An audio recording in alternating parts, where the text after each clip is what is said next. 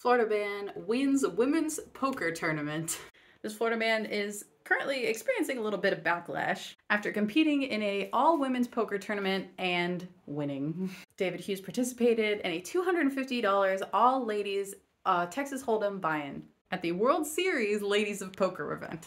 The 70-year-old from Delton, Florida was allowed to participate alongside of the 82 other women. Because of the recent changes uh, with a anti-discrimination LGBT legislation in Florida, the law states that you technically cannot ban biological men from entering the events. And he won the grand prize of $5,555. Social media got a little spicy after this uh, with people trying to put bounties on his head. What do you guys think? 70 years old and still trolling.